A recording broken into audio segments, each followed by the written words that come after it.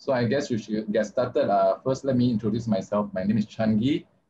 I'm the director for the uh, Lloyd's Register Foundation Institute for the Public Understanding of uh, Risk. And we have this uh, sort of regular seminar, you know, uh, sometimes it's open to the uh, NUS, uh, even outsiders, but most of the times it's confined to ourselves. So today, this seminar is mainly for the researchers and staff in the our institute.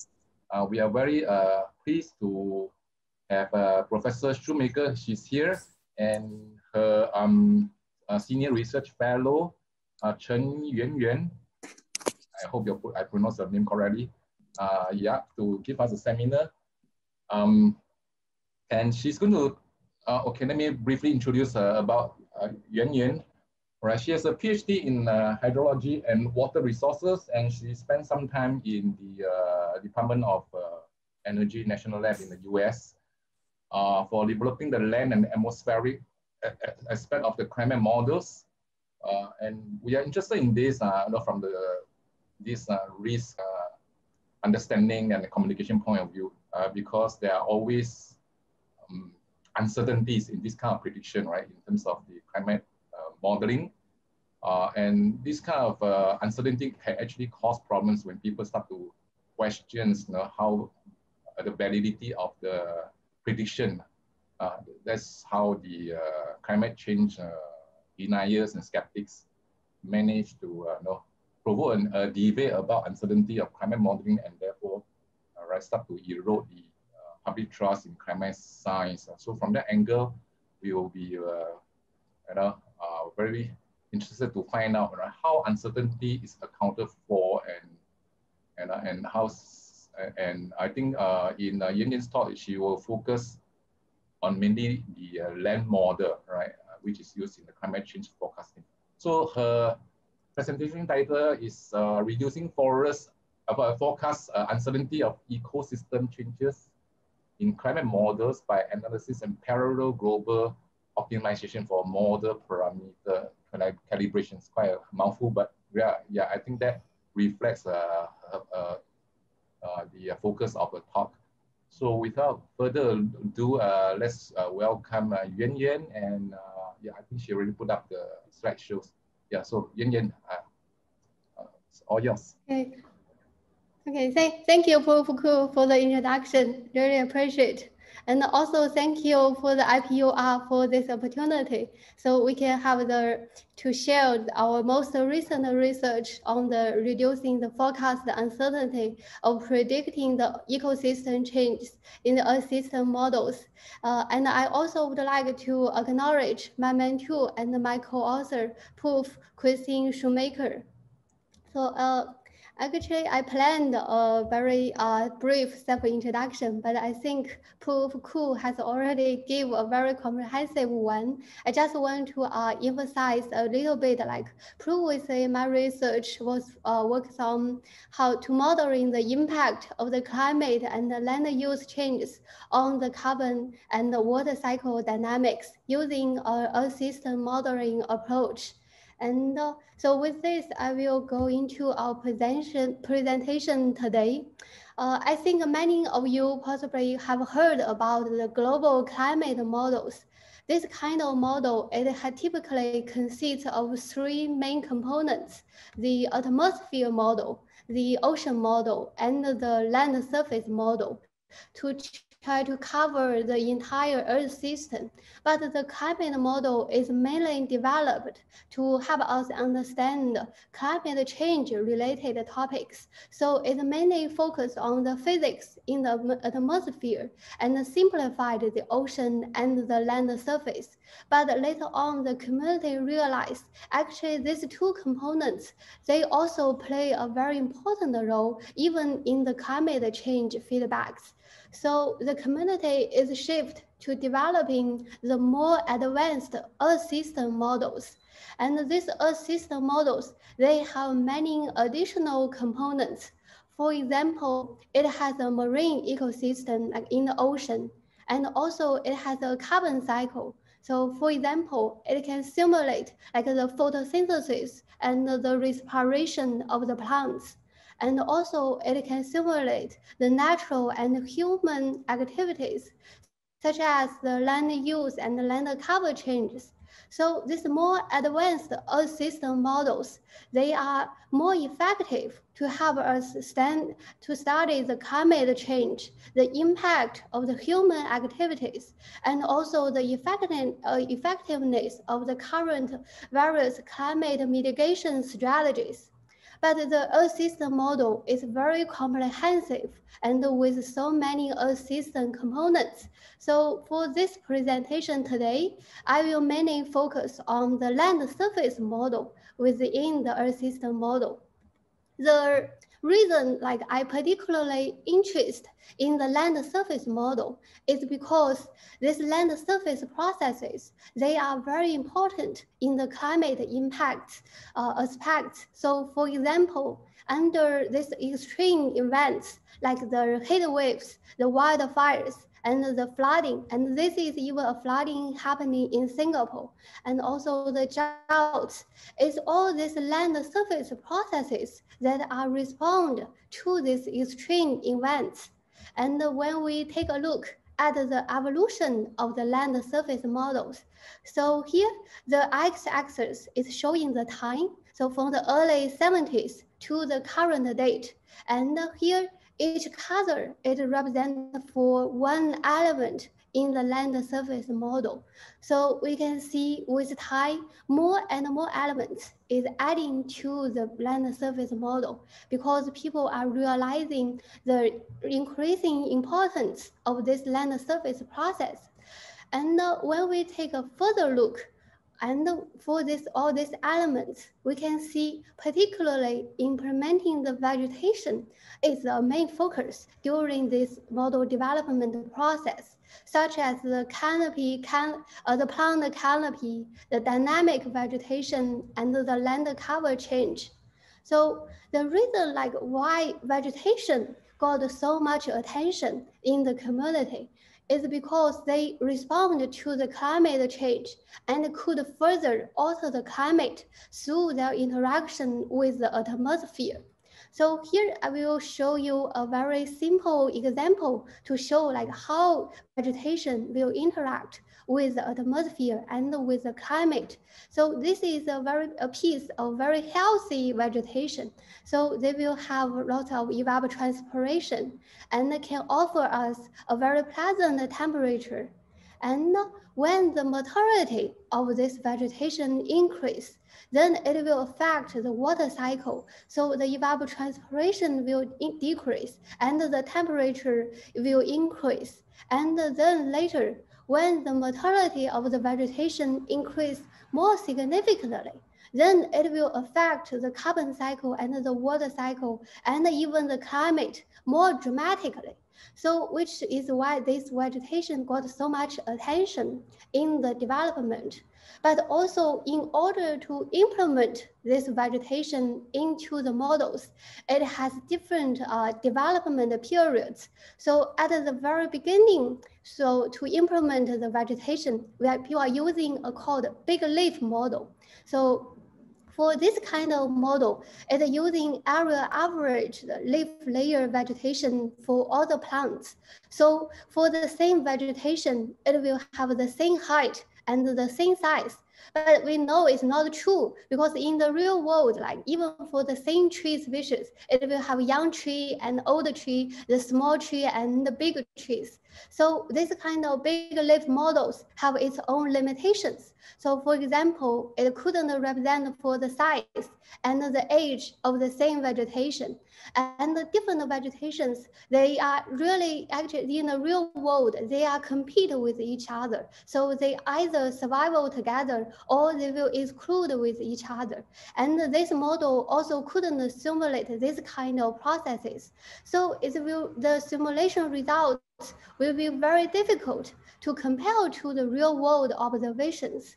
And in order to overcome these limitations, uh, the community is starting to develop the secondary generation vegetation models, the so-called ecosystem demography model, also called ED model. So here we can see in the ED model, with the same vegetation, it will have different size and different ages. So it will have a canopy layer and understory layer depend on their height.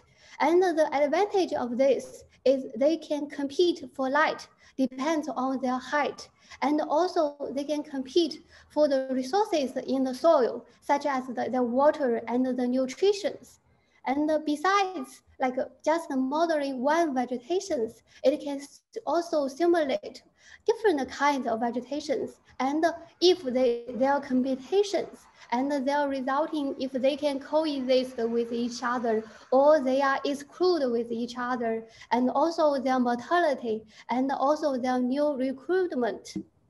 And uh, so, and so this uh, new ED models they have more complicated physical processes, which is more corresponding to what's happening in the real world. But at the same time, these more complex physical processes also, also introducing new challenges. So they are more computational expensive. So I just give you a very simple example. So if we just simulate a very uh, single piece of vegetation, it may take like five hours to finish just one simulation. And so thereby these ED models, they are very difficult to calibrate. So when here when I mean calibrate is we adjust the values of the model parameters to match the observations. So this kind of calibration activity, it will it will require lots of model simulations and evaluations, which will take lots of computational times. And uh, currently, there are some main approaches how being applied to calibrate this kind of complicated models, uh, such as the empirical tuning based on the expert knowledge, the sensitivity and the uncertainty quantification work, and also more recently uh, with advances in machine learning, also people are using the machine learning techniques to build up the inexpensive surrogate models. But all these approaches, they have their own limitations. So for example, the empirical tuning, they may fail to account for the joint parameter variabilities. And also for the machine learning techniques, if they are building up the relationship just based on the model input and the model output and treated the model as a black box. So they couldn't consider the physical structures inside the model. And uh, so they may feel when it applied to other out of distribution data set. And uh, so up to this point, so I'm talking about like the advances in the new ED vegetation model, and it's still difficulty to calibrate this model. So for the vegetation, so the tropical forest is the main portion of the Earth's vegetation. And here is a, a, picture I took when I paid a visit to BCI Panama to do a field work. So this BCI site is a primary tropical site. And the reason like we are particularly interested in the tropical forest is because like even though the tropical forest cover a very small, only 7% of the Earth's surface, but they cycle more carbon water, and energy than any other bio. They are the world's, world's the most important land-based carbon sinks. It helps to regulate the Earth's climate, and currently they are very important part of the nature-based climate solutions. And we are located in the Southeast Asia. So this region is home to nearly like 15 to 20% of the world's tropical forest areas. And in Singapore, so there are also significant ongoing efforts are devoted for the forest plantation, such as the 1 million trees movement and the Green Plan 2030. But at the same time, these tropical forests, they have undergone substantial land use and land cover changes. For example, due to the wildfires, actually this is a figure uh, for the wildfire in Indonesia and also due to human activities such as logging and also the crop expansion and the oil palm and the rubber uh, plantations. So, and here it is a figure showing the deforestation situation in Southeast Asia uh, between two decades. Here, the green color means the coverage for the tropical forest. So when we compare these two figures, we can see lots of forest has disappeared in the Southeast Asia. So this makes it very uncertain and debatable whether currently the tropical forest is still a net carbon sink or actually it has become a net carbon source under all these kind of global changes. And also the system models, like I just mentioned earlier, they are very effective tools to help us understand these global changes. But the tropical forest is very poorly represented in the model. So it will result in very large uncertainty in the future projections and also for us to have us understand all these processes. So it's very important for us to improve the prediction for the tropical forest in the Earth system models. And when I mentioned the poorly representation of the tropical forest in the Earth system models, so here I would like to give you an example on tropical forest composition, their representation in the Earth system model. So the tropical forest, they have the greatest tree species diversity. So for example, the early and the late successional plants they are the typical tree species in the tropical forest. So here I show two figures with the early and the late successional plants. And these two species, they have very distinguished characteristics, including from their wood density and their leaf and root lifetimes, their mortality rates, and also their root profiles. And also they have different tolerance to, for light. For example, the early successional plant, they are very light demanding, but the late plant, they are they can tolerate for the shades. And these early and late plants in the real world, they are grow together. So they, there is a coexistence for these two species in the real world tropical forest. But currently, in the advanced ED models, it doesn't have sufficient parameterization for this kind of coexistence for this typical tropical tree species. And this will have some uh, outcomes. So for example, this insufficient representation of this composition for tropical forests have been reported to alter the modeled vegetation biomass by two times compared to the observations. So it's very important for us to improve this representation of the tropical forest composition in the model.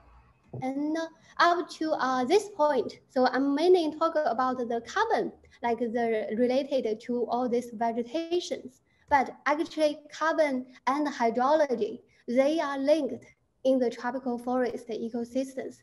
There is no way to separate to consider carbon and hydrology. This is because like the hydrological parameters, they control such processes like the infiltration, the water holding capacity, the runoff generation, and the recharge to the groundwater. And eventually it can determine how much water is available for the plant to uptake. So all these hydrological processes, they will eventually affect the growth and the structure and the functioning of the forest. And also, as I just mentioned earlier, the typical tree species, like the early successional plants and the late successional plants, they are coexist with each other, but they have very different rooting profiles. So they have different availability to assess the soil water and the groundwater. And this is the hydrological properties, which are determining the distribution of this soil water and the groundwater below ground. And eventually it will control the coexistence of a tropical forest ecosystem.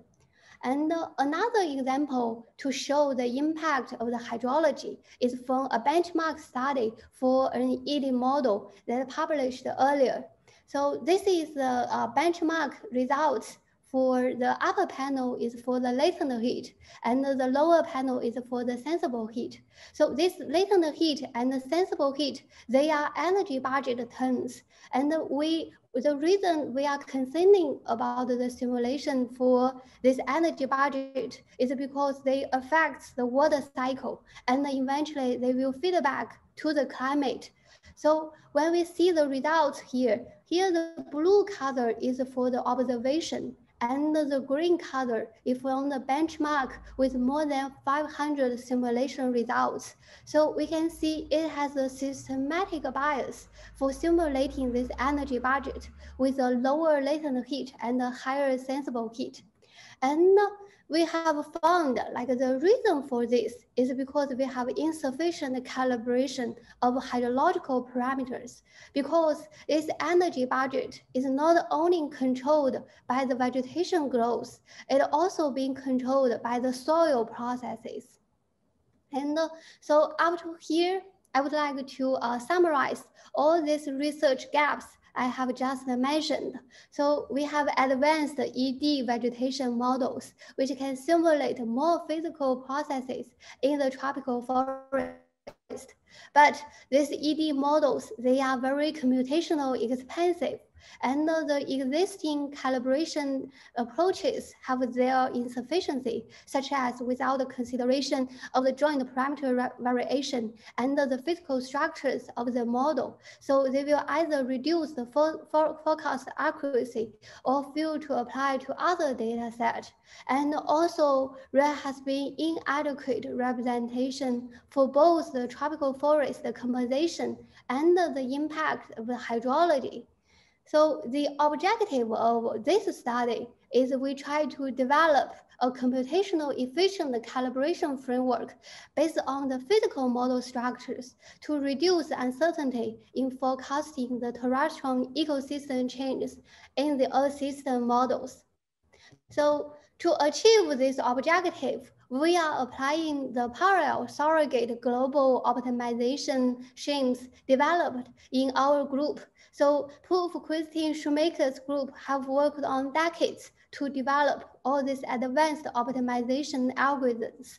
For example, the parallel here I mean is we try to take advantage of the advances in computational power to using many processing units at the same time. So we can save the computational the human time to find the solution. And we have very uh, very good optimization algorithms such as the POTS and the GOPS they can find the answer very quickly and very efficient. And here so i won't go into details for this optimization algorithms but they are all have been published and validated in the literature and uh, so this study, we are concerning about the ED model. And the particular one I'm using here is called CLM5, which is the land surface model for the community assist model CESM. Here it is a figure from the CLM5 technical note showing the processes that are simulated by the model. So we can see CLM5 can simulate many land surface processes, including the carbon cycle, the hydrology, the surface energy budget, and also the ecosystem dynamics. And also CLM5 has an ED module uh, to simulate the vegetation vegetation part. And for myself, I'm also an official contributing author to CLM5 because of my contribution uh, to help implement perennial bioenergy crops into the model. For, for this study, we are calibrate this CLM5 model. That's also when I mean uh, calibrate, it means like we adjust the values of the model parameters to match the uh, real world of the observations. And here we select 19 sensitive parameters. We calibrate both the vegetation parameter and the hydrological parameters to better represent the role of hydrology, as I just mentioned earlier, which didn't get in uh, sufficient attention in earlier studies. And also we calibrate both the early and late successional tropical forest, so we can better represent the tropical forest composition. And so we adjust the values of these parameters to match the observation by using the optimization schemes developed in our group. And for the observation, uh, they are collected at the BCI Panama, which is a primary tropical forest. And the, there are six variables have been collected uh, they are all corresponding to the growth of the vegetation and also the water cycle, including like the tree size distribution. It means uh, as how many trees is following in a certain size group and also the plant productivity and the energy budget and the soil water. And these variables, they are collected by a flux tower that has been installed in Panama. And we also validate against the runoff in the streams. And uh, so here it is myself doing the field work in Panama to collect the stream flow data uh, out there. So you can see I'm dressing very shiny color because I've been told like it's easier to be identified in the tropical jungle. And uh, so here uh, before I show you our results, I would like to uh, draw back the uh, memory, back memory for the vegetation models I have mentioned earlier, the big leaf model and the ED model. So the ED model is what we use here, which is more advanced. So we can simulate the different size of the different species so here it is the results with the, the x-axis is for the tree diameter and the y-axis is for the, the tree number density. And this is for a previously simulation results. Here this blue color is the observation and the green color is more than 500 simulation results. So we can see these previous results, they have considerable threat and significant bias. And this is our modeling results. So here the blue color is observation again, and the red color is our optimization results. So we can see our work improves the simulation of this tropical forest composition by capturing like the different size of tropical forest corresponding to their density.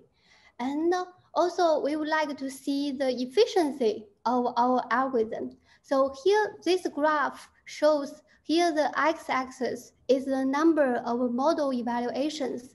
So we are using 192 in total. And the uh, initial 24 simulations is used as initial conditions. So I didn't include here. And the y-axis is the asymptote between the model simulation and the observation. So the lower the arrow turn, the better. So when we take a look at this graph, we can see overall our optimization algorithm, it conserves very quickly. And we can find the optimal solution within a very reasonable computing budget. So here is 192 model simulations in total. And so here, this black line is we only calibrate the vegetation parameters. And this red line is we calibrate both the vegetation and the hydrology parameters. So here, the lower the value, the better. So we can see when we jointly calibrate both the vegetation and hydrology parameters, it significantly improves the model performance, which further demonstrates the impact of hydrology on the model simulation results. And also, uh, as I mentioned earlier, this energy budget, it affects the water cycle and will feedback to the climate. So here is the fitness of the model to the observed energy budget with sensible heat in the left and the latent heat in the right. So here, the blue color is the observation and the black color is we only calibrate the vegetation parameters. So we can see also corresponding to the systematic bias I mentioned earlier. It also, if we only calibrate vegetation parameters, it will result in a higher sensible heat and a lower latent heat. And this is the result when we calibrate both the vegetation and the hydrology parameters. So we can see with the additional calibration of the hydrological parameters, it also improves the simulation for the energy budget.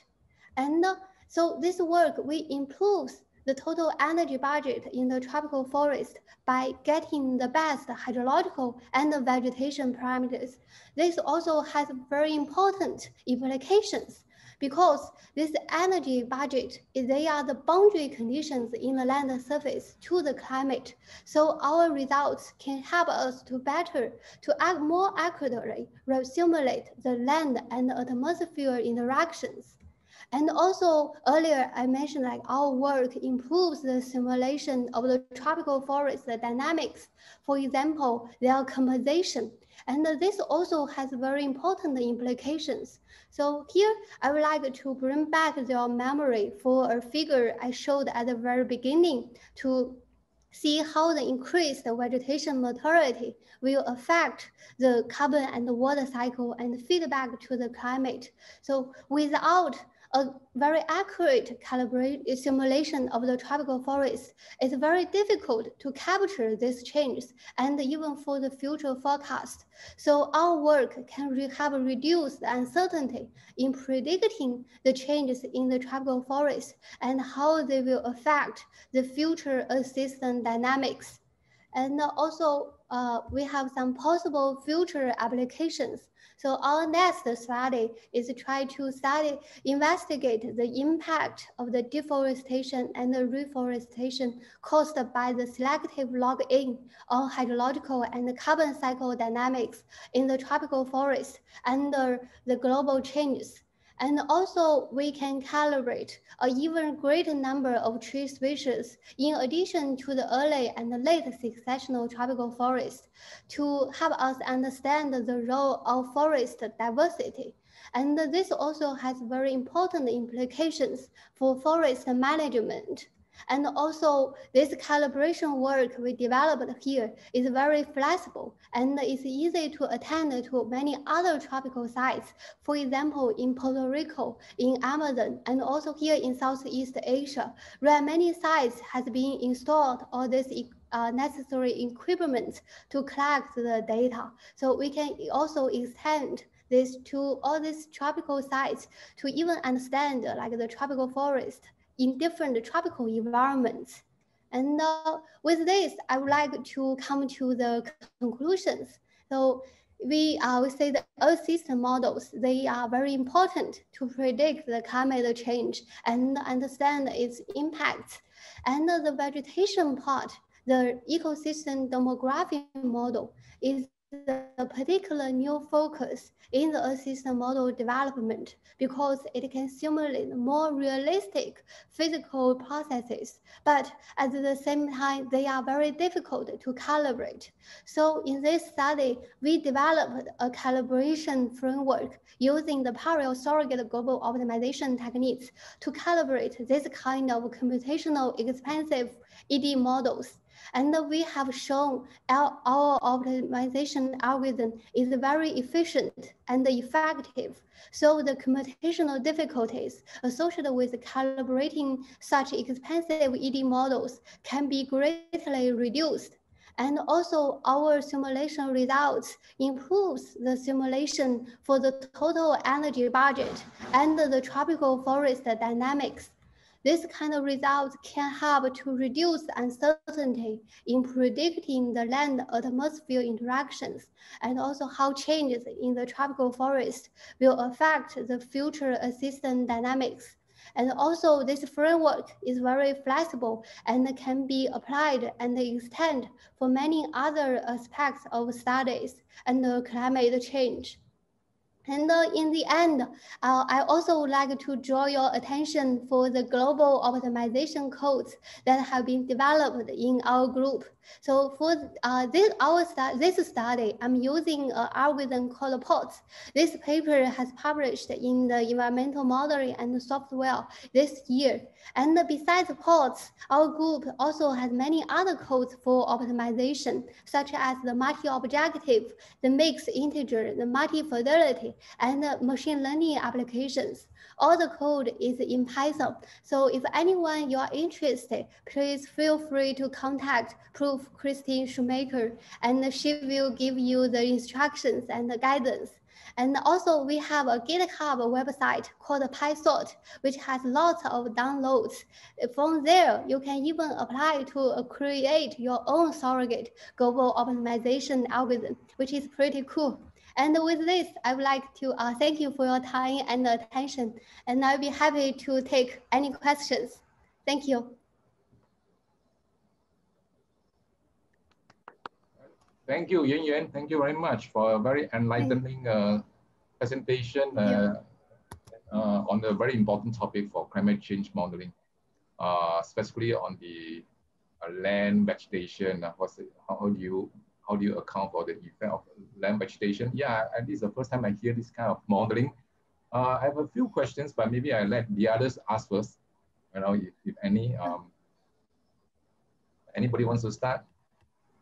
Um, Prof. Koh, actually, there are questions in the chat box that you can. Oh, okay. Yeah, let me see. Yeah. yeah. Oh, okay.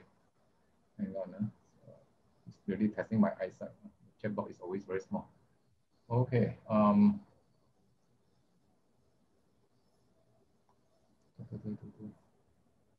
All right. Uh, so let me start from the uh, question from uh, Shi Shi Hui.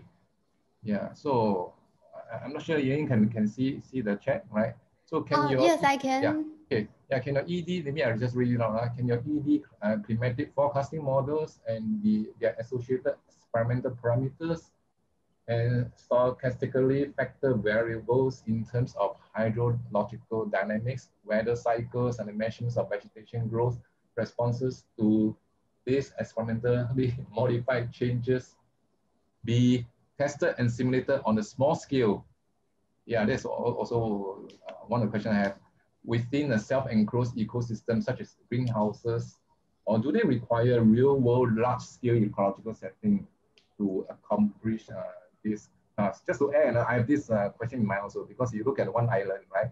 Or we look at Singapore, right? So uh, what is the scale that the minimum scale you know, uh, for this kind of study? But okay, this this uh, question is very technical and, maybe you just take a look and then respond to it. Yes. Yeah. Yeah, yeah. Thank, thank you for the question. Actually, for this ED model, the scale is very flexible. So we can either just study a single piece of forest, or we can apply to a large, like regional or global scales. But the scale you just mentioned here, like for uh, like a greenhouses, and they are, yeah, it's quite feasible. It's very feasible. Yeah this because it's the land surface model. So it focuses on the various resolutions and the scales in the land surface. So yeah, it's very, uh, very feasible. The answer is yes. Uh, but if the scale is too small, you know, imagine I, I just model, let's say, let's say NUS. Mm, I yeah i i know i know so that's why here like i give an example for oh. like they are computational expensive so it will take like uh just if we here this five hours for one simulation is just for one piece of forest because it has many detailed uh simulation uh, processes such as their photosynthesis and their respiration and the different species they will compete for these resources in the soil and uh, the, such as the water nutrition. So it's also very minor scale processes already included in these ED models. Okay, maybe yeah. I, I move. Yeah, yeah. answer. Yeah, uh, maybe I move on to the next questions. Uh, no, raised by Justin. Mm. Yeah.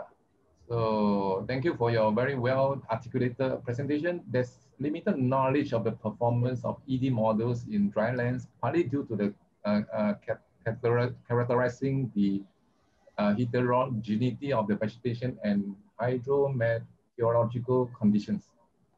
Do you have any thoughts on how ED models can help facilitate improved understanding of gross primary productivity as one of the important components of the carbon cycle?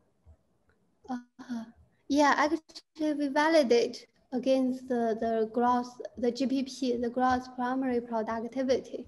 So this is uh, uh, this component I mentioned here, this flux tower, and mentioned this uh, measure this plant productivity, and we also have validate against this variable. Just due to the time limitation, I didn't show the results for the GPP here. But yeah, yes, we have already validated against this variable.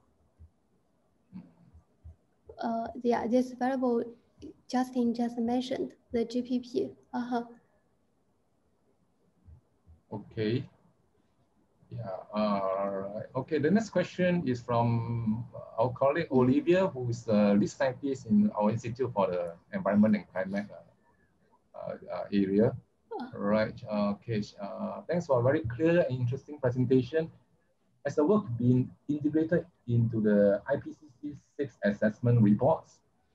And you mentioned the systematic bias of previous models. Can you extrapolate from that to say something about whether there has been systematic bias in assessments of the carbon sink source role of tropical forests?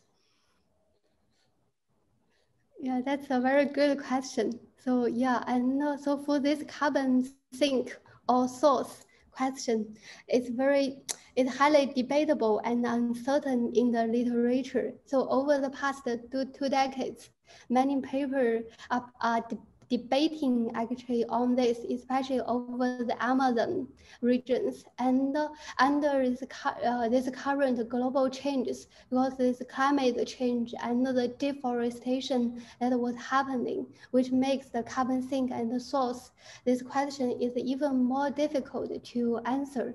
Uh, and this, our results haven't been integrated in the IPCC assessment yet, but and and I also uh, like even for the big leaf models from the early earlier generation, they are still useful models to uh, they offer offer some insights for us. It's just and later on we have more understanding and more computational powers. So we have these more complicated models to help us better understand and quantify.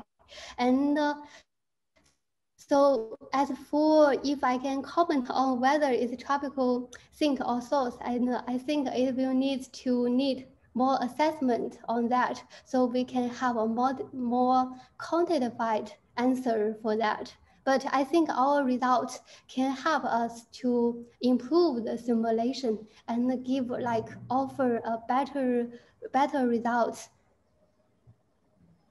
Yeah, th thank you.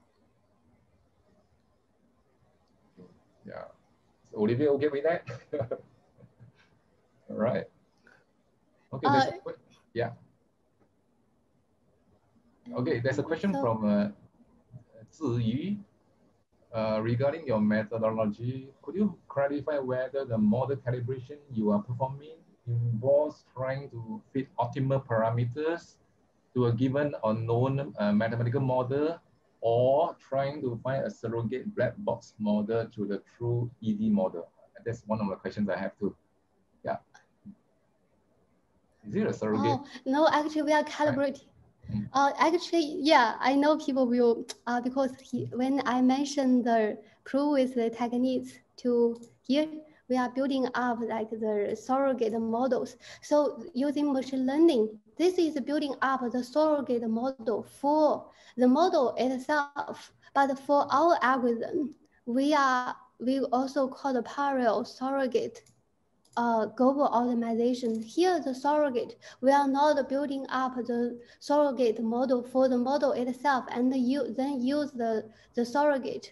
Actually, we are like constructing the uh, surrogate at each iteration and each evaluation, but we are also compare it to the, the real model. So we are calibrating the true ED model. And so we are not build up a black box model. We are calibrate the true ED model.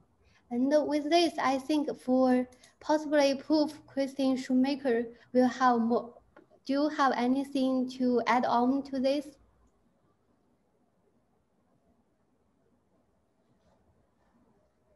Uh, is Prof still here? Can you hear me? Yes, yeah. Okay. Uh, yes. Yeah. Mm-hmm. Um, yeah, I, I, would agree with what you exactly with what you said.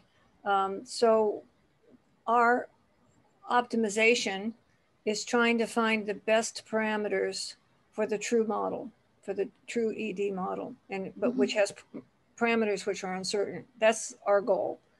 In the process, we do build a surrogate, but it's not, um, we're, we're not trying to do what would regard as a surrogate black box model to the true ED model. It was actually focusing very specifically on the parameters, thereby hoping to preserve as much as possible the science that's embedded in, the, in that model in terms of how things interact with each other. I'm done. so essentially you have a, a physics or, or science-based model, right? Yeah, uh, yes, yeah. Yes. So then you're trying to find the optimal parameters to give the best result. But in the process of doing so, you do employ surrogate uh, you know, surface and, and some kind of fitting to, to reduce the number of simulations required, I suppose, right?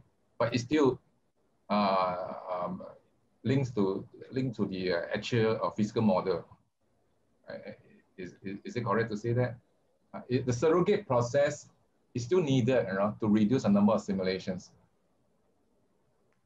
Uh, yes, yes, yeah, yeah, because it's, yeah, yeah, it reduce like the mm. simulation mm. evaluation we need to yeah. do for the real mo real model. Yeah, But as this, yeah, we are still calibrating the the of the, the, the parameters, parameters, for the real model.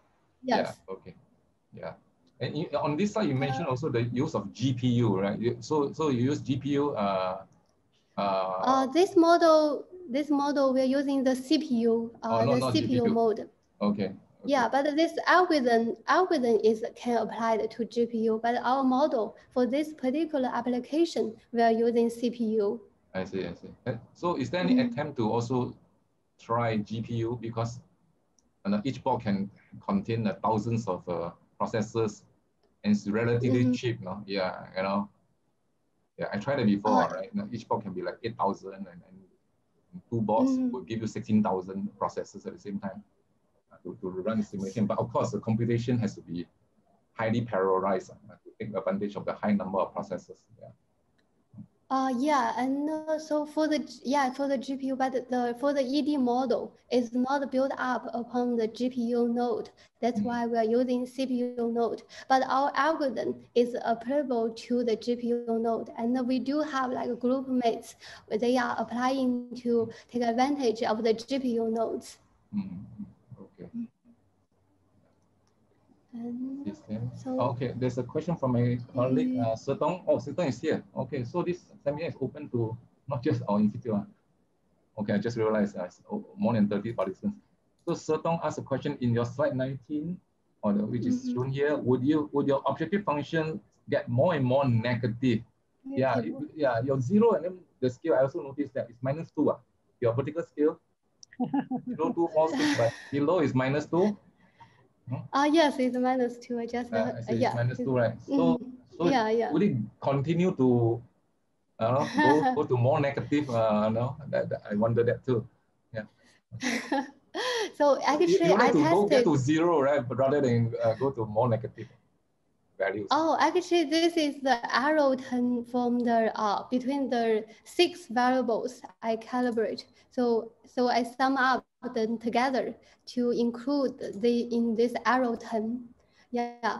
And uh, actually this model, and even at this point with 192 simulations, it already find like the, the optimal solution we are interested in. And I also have tested a case like with uh, almost 400 evaluations. And the algorithm does can continue like to uh, yeah, get a lower and but not that much. And also, so finally we pick up like this 192 simulations to consider both like the computational time and also a reasonable uh, solution we can have. So given like even with 192 evaluations, we already have a very satisfied uh, so solutions. And yeah, but with more and more simulations, it will take more and more computational time. So this just like a compromise between all these objectives. Yeah, okay. I, actually, uh, Sutong has a follow-up question now, which I also have uh, wanted to say. Yeah, would, would, would not the sum of absolute error be better measured? Or for that matter, mean square you know, error? So that you don't have this problem oh. negative, oh. People start to question. Uh, yeah. I, actually, uh, I call it arrow here just for the audience to better understand uh, what this term means. Actually, this real, uh, this real statistics is called Nash sufficient efficiency, called NSE. It's similar to the root mean square arrow to -huh. quantify the model performance. I just like use the arrow term so for the audience can better understand what I mean here. So I didn't specifically refer to the statistics, the name of the statistics. Yeah. But if it's the root mean square kind of error absolute, then it shouldn't be negative, right? Um, okay, this right. Uh, no, it, it's called Nash, uh, Nash's, uh, what? the N NSE, and N it's a negative, oh. negative NSE, yeah. Negative NSE. Yeah, NSE is the one is a perfect. So, and so we use but uh, the optimization is trying to find the lowest value. So we use negative NSE to quantify the error terms. Okay, let me see, is there any more question? Okay, looks like there's more question from the chat box. Uh, anybody wants to just talk it out? No, uh, you can always uh, unmute yourself and ask question or raise your hand if you wish to. Can you hear me? Can anybody hear me? Yes, yes. Oh, yes. okay, it's Shoemaker. Okay, so yes, we uh, that's really my fault. I'm probably the one who put the error on that on that slide. Um, it's uh, there's different, many different goodness of fit measures that you can use, yeah. um, and this was a, a goodness of fit measure, and the idea was that um, the, the the the smaller the error is, the smaller the the measure is, which is a good thing. But it happens to be uh, a measure, it's very widely used in, in hydrology, uh, but it happens not to just be always a positive number.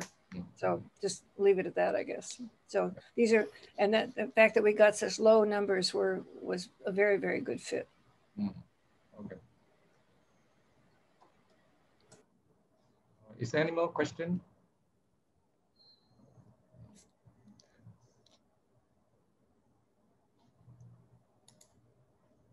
So if, if not, uh, yeah, let's, uh, uh, I don't know how to clap, but uh, thank Yanyan uh, for the wonderful presentation and uh, for this very interesting uh, topic that uh, you know, I think many of us uh, have not been aware of, right? The importance of uh, modeling vegetation and hydrology and uh, in the climate change modeling. Yeah, thank you so much. Okay, and thanks uh, thank you. to everybody for participating in this uh, seminar. I hope to see you in another seminar of uh, IPUR. Thank you. Okay. Thank you. Thank you, Thank Prof. You. Shoemaker. Thank you. Yeah. Thank you.